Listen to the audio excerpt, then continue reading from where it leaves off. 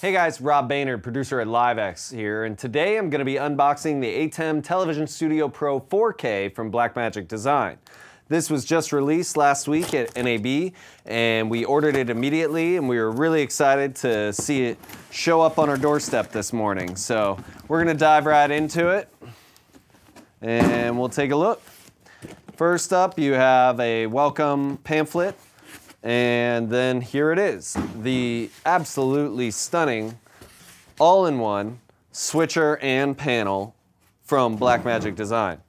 So this is the ATEM Television Studio Pro 4K, the upgraded version of the ATEM Television Studio HD has been refitted with 12G SDI that will give you a full 4K 60p uh, capability with eight inputs as well as eight outs, which are loop through, can be used for uh, return as well to the camera. On the side here, we have uh, headphone jack, line in jack, as well as analog audio in channels left and right, multi-view HDMI, as well as an, a multi-view SDI and a program output, uh, a ref in, an aux, as well as Ethernet control, RS422. There's a USB for firmware, power off of IEC or a 5-pin 12-volt connector.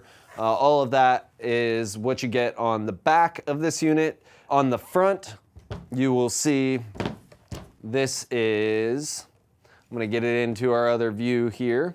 We have our 8 preview program main bus here. Then you have shift sources as well. You have background key one ties here, as well as DSK ties. You also have all of your transition control, DVE, uh, squeeze, push, stuff like that. On the top here, you have audio controls for audio follows video or to air audio. Um, we can get this on the overview.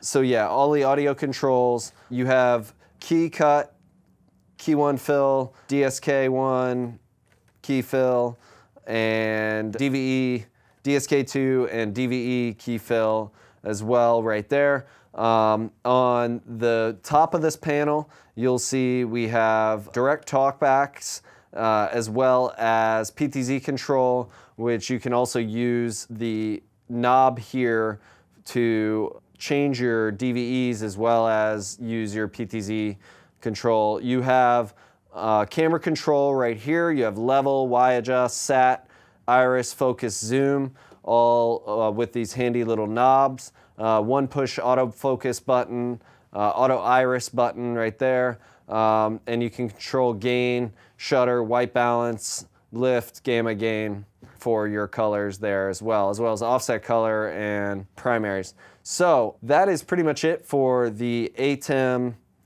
Television Studio Pro 4K.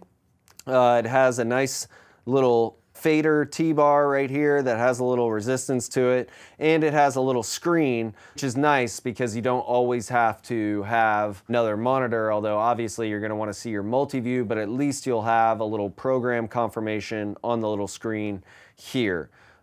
Menu button, you can cycle through the menu with this big knob here.